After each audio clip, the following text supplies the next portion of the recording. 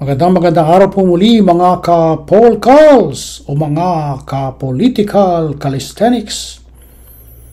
Kagaya po ng dati, sana po ay nasa mabuti kayong kalagayan kasama po ng inyong mga pamilya saan mang sulok kayo ng daigdig naroroon. Kamakailan lamang po ay napag-alaman natin na ang Television Production and Exponents Incorporation o mas kilala sa tawag na Tape Incorporation ay matagumpay na na-register ang kanilang application para po sa ownership, trademark, and logos ng noontime show na Eat Bulaga. Ano po ba ang ibig sabihin ito kapag sinabing nairehistro nila ang kanilang karapatan bilang nagmamayari ng Itbulaga. Kasama na rito ang kanilang mga logo. Well, ang ibig sabihin lang po nito ay siyempre sila po ang kinikilala ng Intellectual Property Office of the Philippines or IPOPHIL na sila sa kasalukuyan ang may karapatan lamang na magpalabas ng Itbulaga at gumamit ng logo kaugnay ng noontime show na ito. Sa kabila ng mayroong petisyon na ifinail ang TBJ para po sa tinatawag na trademark cancellation. Pero sinasabi naman po ng IPO na hindi man ito makakapekto sapagkat ongoing pa rin po ang kaso dahil po sa kasalukuyan ay wala pa namang inilalabas na desisyon ang korte ay kinikilala ng IPO ang Tape Incorporation bilang siyang nagmamayari ng trademark at logo ng Eat Bulaga. Alam po ninyo, kahit po anumang desisyon na ipataw ng korte, pabor man o hindi pabor sa Tape Incorporation at sa TBJ, iisa lang po kasi naman ang talagang alam ng mga tao. Ano po yun? Alam po ng mga tao na ang nakaisip ng Itbulaga na pamagat ay si Joey De Leon. Totoo po yan. Pati po yung kanta, alam po ng lahat na ang gumawa at nag-compose ng kanta ay si Big Soto.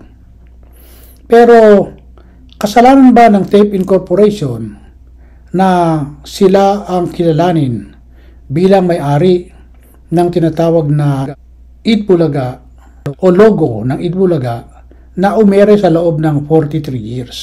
Wala pong ibang dapat sisihin dyan, kundi ang TBJ rin po. Bakit po? Sapagkat Okay, tinatag nila ang Itbulaga noong 1979. Pero sa kanila na rin mismo nagmula ang salitang pagkatapos po ng 1979, magsasara nga po at bankrupt ang production na unang sumusuporta sa programang Itbulaga. Alam, alam po ninyo, kaya po nangyari ang mga bagay na yan sapagkat noon pong nagsisimula pa lamang ang TBJ ay napakalakas po ng kanilang karibal na programa, yung student canteen. At dahil po ang tatlo ay nagsisimula pa po lamang, wala po silang mga personal na pera para po i-sustain yung kanilang programa na manatili sa ere. At dumating nga po ang panahon na sila ay kinupkop ng Tape Incorporation para po magpatuloy ang programa. At dahil nga po sila ay kinupkop ng Tape Incorporation, ay natural lamang na para sila makasurvive, eh kinakailangan nilang pabayaan kung ano man ang gustong gawin ng Tape Incorporation sapagkat noong panahon na yun, wala pa silang tatlo na pinansyal na kakayahan para i-maintain ang Itbulaga dahil nga po, siyempre napakalaking gasto niyan at sila naman po ay mga nagsisimula pa po lamang. At siyempre, kung ako naman po ang Tape Incorporation, dahil sa sinave ko yung noontime show na 8 Bulaga, na noon ay papabagsak na at nagsara na ang dating production, eh natural lamang na kapag yan inirehistro ko, irehistro ko ang trademark niyan at ang logo niyan sa sarili kong pangalan. At kaya nga po, inirehistro yan ng Tevin Corporation noong 1983 sa pangalan nila. Alam po ng lahat na si Joey De Leon ang nakaisip ng salitang Itbulaga. Pero dapat rin po itindihin ng Tito, Vic, and Joey na sila ay sinave ng Tape Incorporation hanggang sa makabounce back sila at nagtuloy-tuloy sila for 43 years. At sa katunayan na talagang ang Tape Incorporation ang may-ari ng Itbulaga at ng logo nito Bagamat si Joey De Leon, paulit-ulit po ako, ang nakaimbento ng pangalan, ay natural lamang po na kapag inirehistro ko yan, hindi ko po yan inirehistro sa pangalan ni Joey De Leon o sa pangalan ng sino man sa kanilang tatlo.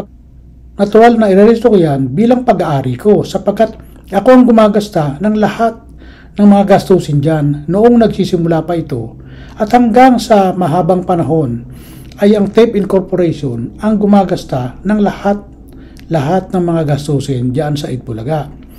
At ang isa pang bagay na hindi maitatanggi ng Tito Vic and Joey ay pumayag silang maging empleyado ng Tape Incorporation for 43 years. Kung sila ay pumayag na maging empleyado ng Tape Incorporation for 43 years, ang ibig sabihin lang po niyan, ang may-ari po ng Itbulaga, kasama po ang logo nito, ay siyempre ang Tape Incorporation. At kahit na po magpabalibaliktad pa ang TBJ for the cancellation of the trademark at saka ownership ng Igbulaga, eh wala po silang magagawa dyan. Una-una po kapag inilatag ng Halusos Family o ng Tape Incorporation, yung kanilang mga payroll, yung kanilang mga sweldo, ito ay isang katunayan na for 43 years ay empleyado nila ang mga artist na sina Tito Vic and Joey for 43 years. Kung sila ay pinapasweldo ng Tape Incorporation, isa lang po ang ibig sabihin nito. Sila po ay empleyado ng Tape Incorporation. Isa pang dahilan para talagang masabing ang Tape Incorporation ang may right para sa trademark at logos ng Itbulaga ay sa loob po ng mahabang panahon ay wala pong ginawa ang Tito Vic and Joey para itama nila yung tingin nila ay mali. Tinatawag po dyan ay stop na po sila. Ano po ibig sabihin ng stop? Uh, sila po yung tinatawag na stop by latches. Ano po ibig sabihin yun? Uh, kapag ikaw ay walang ginawa sa mahabang panahon at pinapayagan mo na gawin ng sino mang tao o sino mang kumpanya ang mga bagay sa mahabang panahon at wala kang aksyon, ang tawag po doon ay estoppel by latches sa Article 1431 ng Civil Code. Ang ibig po sabihin, sa loob po ng mahabang panahon, nirehistro po ng Tape Corporation ang Itbulaga bilang pag-aari nila noong 1983, 1993, 2003, 2013. At ngayon nga pong 2023 ay na-renew uli sila. So sa loob po ng halos apat na put, apat na taon ay wala pong aksyon na ginawa ang sino man sa Tito Vic and Joey para itama o pigilan ang Tevin Corporation at sabihin, teka, teka, teka muna, bakit niyo nirehistro sa inyong pangalan ang trademark right at ang logo? Isamantalang, kami ang nakaimbento ng pangalan na yan. Hindi po nila ginawa yan sa mahabang panahon. Dahil po sa hindi nila ginawa yan sa mahabang panahon, ayon po sa Article 1431 ng Civil Code, ay stop na po sila stop by latches. Wala po silang ginawa sa mabang panahon na dapat sana ay ginawa nila noon pa. Ngayon, isa pang katunayan na talagang wala silang ginawa sa mahabang panahon ay kailan lamang sila nag-file ng kanilang registration. Yung Tito Big and Joey ay nag-file ng kanilang registration of trademark. Ito pong taong lamang na to, February 27, 2023. Yan, yung TBJ po ay nag-file ng kanilang registration. Ngayon, si Joey Diliman, bukod sa kasama siya doon sa nag-file ng registration ng February 27, 2023, ay nag-file rin siya ng kanyang separate na registration noong March 22, 2023. Lalo po lamang nilang nilubog ang kanilang mga sarili sa pag-file nila ng registration. Sapagkat imagine, sa loob ng 43 years, eh ngayon lang kayo magpapile ng registration. Meaning to say, sa mahabang panahon, pinayagan nyo na gawin ng TEP Incorporation ang ginagawa nila at hindi kayo umaangal. At dapat po ay magpasalamat na rin po sila Tito Vic and Joey sapagkat bagamat ginamit ang pangalang Itbulaga na inimbento ni Joey De Leon, eh ang laki naman ng sweldo nyo sa mahabang panahon. Sa katunayan, bago sila nagkahiwalay, ay nag-claim si Tito Soto na ang Tape Incorporation ay hindi nababayaran pa si Joey De Leon at si Vic Soto ng total of 60 million sa loob po lamang ng 10 buwan. So madaling salita, sila ay kumikita ng 30 million each a month. O sa madaling salita, araw-araw ang Tape Incorporation ay binabayaran sila ng 1 million. 1 million po a day. At yan po hindi buong araw. Yan po ay dalawang oras at kalahati po lamang. Yung bang ganong kalaking halaga na inyong na-receive sa mahabang panahon, hindi pa ba sapat yun para i-giveaway nyo na yung inyong kiniklaim na kayo ang may-ari ng Itbulaga at kayo ang may-ari ng logo na EB. Eh, ang Taping Corporation nga po ang gumagasta sa loob ng 43 years, kayo po ay swelduhan. Paano po ninyo masasabi na kayo ang may-ari ng Itbulaga trademark at Itbulaga logo? Ngayon, sinasabi ninyo na ang pinailaman namin ay hindi naman po sa class 16, 18, 21, and 25. Yung pong mga numbers na yan, yan po ay parang sa business. Ang pinahal daw po nila ay para sa entertainment. So meaning to say, sila dapat ang magmay-ari dahil ang pinahal naman nila ay para sa entertainment at ang Bulaga raw ay entertainment. Tapos ang ginagamit mo, yung logo ko. Eh hindi po pwede yun. Kahit na entertainment, ang class ng iyong ipinail, eh ginagamit mo naman ang aking trademark. So hindi ka pwedeng gumamit ng trademark ko. So, kahit na po entertainment pa yung inilagay nila doon, ay hindi po yun ubra. Yun po ay violation pa rin po ng tinatawag na trademark infringement. So, dahil dito, ang tangi kong may papayo ay pareho niyang mag-giveaway yung dalawang panig para po matapos na itong mga usaping ito. Paano po mag-giveaway yung dalawang panig? Kasi po, si Vic and Tito naman, eh okay lang eh. Kung ano yung nasa batas, uh, pina, pinapile nila, so pinababayaan nila na yung korte na ang magdesisyon. Wala silang mga salisalita, wala silang mga dakdak eh. Si Joe Dillon naman ng madakdak ng madakdak dyan eh. Hindi po ba?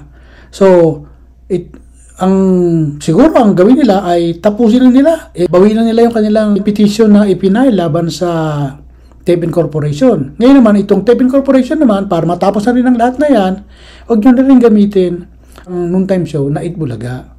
Kasi po, kahit kayo po ang may-ari ng trademark ng Itbulaga, pati na ang logo nito, ang nakarehistro po sa isip ng maraming tao na ang Itbulaga ay Tito Vic and Joey. Hindi po ba? So, dapat kayong dalawang panig ay mag-giveaway na. Halimbawa, tigilan na ni Joey yung mga sinasabi niya kasi alam naman ng tao na eh na siya yung naka-invento ng Itbulaga. Pinayagan niyang i-register ng i-register ng Tape Corporation. Hindi po ba? Bilang pag-aari nila. So ito namang Tape Corporation, huwag nyo na rin gamitin ang pangalang Itbulaga. Magpangalan na kayo ng ibang titulo diyan sa inyong noontime show. Ngayon, syempre, pag nagbago ng titulo ang Tevin Corporation at hindi na ginamit ang Itbulaga, dapat alisin na rin ng Tito Vic and Joey yung pamagat na EAT sapagkat yun po ay sumisimbolo pa rin ng Itbulaga. At saka yung logo, syempre, pag talagang na-finalize na yung decision, hindi na nila pwede gamitin yung logong EB. So, they can make their own title for noontime show na malayo doon sa salitang Itbulaga, total sinusundan naman sila bilang Tito Vic and Joey, hindi bilang Itbulaga. Hindi po ba? Pero, kapag ang gumagamit ng Itbulaga ay yung Tevin Corporation, alam ng mga tao na ang Itbulaga ay Tito Vic and Joey. ang Tito Vic and Joey ay Itbulaga. So magkita sila sa gitna at pareho silang mag-giveaway. O, sasabihin ng halimbawa ng Tepin Corporation, okay, hindi ko na gagamitin ang titulong Itbulaga sa noon time show. Papalitan na namin ng ibang pangalan. O sasabihin naman ng Tito Vic and Joey, okay, dahil sa kayo nga ang may-ari ng trademark at saka ng logo, alisin na namin yung logong EB para wala na rin usapan. At siguro, iibahin na rin namin ang pangalan. Halimbawa, ilagay nila and Joey noon time show. O di, alam pa rin ng mga tao, hindi po ba? So, kung magkakaganon, ay matatapos na yung usapin na to. Kasi parinigan ng parinigan. Yung sa Facebook, ang dami nakapost na, oh, kayo talaga ang tunay na nagnakaw ng, ng logo at saka ng pangalan. Oh, si Joey De Leon magpo-post na o oh, kami ang original niyan, ako talaga ang nakaimbento niyan. Bawat po argumento ninyo, alam po ng taong bayan ang totoo. Ang totoo, si Joey De Leon ang nakaimbento ng pamagat na Itbulaga. Totoo po yan. Pero hindi niya po inirehistro sa pangalan niya at siya po ay na-stop sapagkat hindi niya po pinigilan sa mahabang panahon ang Tepin Corporation nang irehistro nito ang Itbulaga sa kanilang pangalan. Sa mahabang panahon po, 40 years, more than 40 years, wala pong ginawa ang Tito Vic and Joey para pigilan ang Tepin Corporation na angkinin ang trademark. Sa batas po, kapag ikaw mismo ay nandoon sa programa at hindi mo pinipigilan o anuman ang ginagawa ng iyong kasama sa trabaho, ng iyong production, ng boss mo, na alam mong ikaw ang may tunay na karapatan, pag, pero pag wala kang ginawa, ikaw po ay magiging stop by latches o estopel na po yon. Dito naman sa Tepin Corporation, alam po naman ninyo na kapag idbulaga ang pamagat, ang nasa isip ng tao po dyan ay wala nang iba. Tito, Big, and Joey. So palitan nyo na rin po yan palitan nyo na rin po ng pangalan o titulo yung inyong noon time show. Sa ganung paraan, eh magkikita kayo sa gitna, eh di tapos ang usapan. Hindi po ba? Tapos na po ang usapan. Alam po ninyo, sa ginagawa ninyo, ay isa lamang po ang nakikinabang. Yung pong mga abogado ninyo. Yung pong mga abogado ninyo, yung po lamang ang nakikinabang sa ginagawa ninyo. Siyempre, sasabihin ng abogado ng TGJ, kaya natin to, kaya natin to. Okay, o ito, mananalo tayo rito. Eh, bayad naman ng bayad ng milyon ng TBJ. Tapos sabihin din naman ng abogado ng Taping Corporation, hindi nila kaya yan, basta i-depensa natin yan. O tapos magpapail pa tayo ng ganito. O di gagastos rin ng Taping Corporation. So at the end of the day, sino ang nananalo? E di yung mga abogado nyo. Pero kung titigilan nyo na yan, o Tepin Corporation, huwag nyo nang gamitin ang title na Itbulaga. Ito namang TBJ, huwag nyo rin gamitin ang title na IT at ang logong EB at palitan nyo rin ang pangalan ng inyong noon time show. Total killer naman kayo, kahit saan kayo magpunta, eh di tapos ang usapan. Hindi po ba? Yan lang po aking may papayo dyan sapagkat kahit pa magpa-ikot-ikot ang Tito Vic and Joey, eh, hindi nila talaga maangkin ang Bulaga trademark at logos. Dahil yan po ay nirehistro ng Tebin Corporation na pinayagan nyo sa mabang panahon for 43 years pinayagan yung irehistro sa pangalan nila. Hanggang dito na lamang pong muli, ito po ang inyong lingkod. Consuelito John T. Gaviola. Dito po lamang sa political calisthenics. Maraming salamat. Mabuhay po kayo.